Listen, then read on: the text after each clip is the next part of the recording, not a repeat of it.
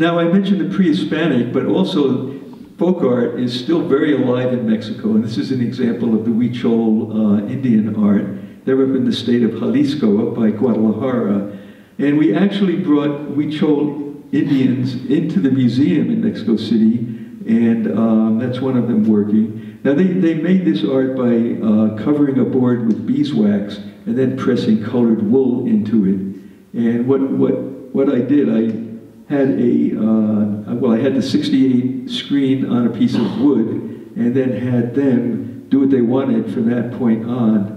And uh, it was really interesting. And, you know, we learned a lot from folk art as far as color combinations and the way color was used in Mexico.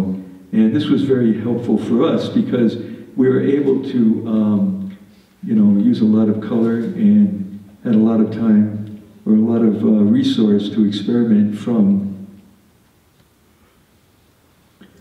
And of course, this was very helpful. Color, of course, is Mexico also, so we had the look of Mexico built into the, um, the form, and we tried to be as colorful as we possibly could. Now you can see in the beginning, in the, in the uh, foreground, we had a, a, weekly publication that was color-coded. We had monthly publications. We had a lot of publications. We had a lot of color um, used for the publications. And I radiated, I mean, thank goodness for the radiation, uh, you know, tool because I used that to tie things into the program that were very, you know, quite removed from the program. So from postage stamps, in postage stamps, I was able to make different themes relate to the Olympics.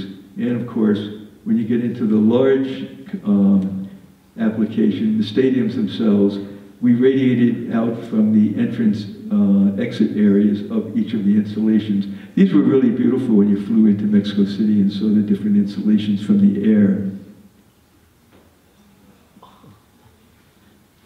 Now that was the basic branding of the games for Mexico, but of course there were other parts of the games that had to be uh, attended to as far as uh, communicating and so forth. And part of one of those uh, areas is the sports events. And traditionally, the host country developed, well, up to, up to just before Mexico was Tokyo, and they did a stick figure um, kind of approach to their, um, you know, their, their sporting events. What we did, we developed icons that were more based on Mexican glyph systems um, and focused on a part of the body or a piece of equipment, or in this case, a combination of two for track and field. When water was involved, um, that became part of the icon. And here we have just a part of the human body to indicate swimming in the water. And here's an example of um, a rubbing taken from uh, Mayan glyphs. And you can see the formation that they used uh, was very helpful for us. Now, I mentioned earlier that we had to use three languages, and um, we tried to use no languages that we possibly could. And I'm talking about Spanish, French, and English. And we didn't use any languages on the signs to uh, guide people to the different sporting installations. So the, the symbols worked in that respect. Um, you know, and I'll mention, at this period in history, for sporting events at Olympics, symbols were um, accepted, but when you tried to use them in other areas outside of road signs and things, but when you tried to use them in the city, they, they were thought of more for illiterate people, not, not as helpers. And uh, of course, that's, that's changed now. we spend our lives being uh, told how to get around, both in our virtual and our real world with, with icons. Another area that was extremely helpful both in uh, imaging for the game's parts and for the wayfinding um, and identity of events as far, I mean, identity of areas in the wayfinding, silhouettes were very important. And of course, this comes from the early Greeks.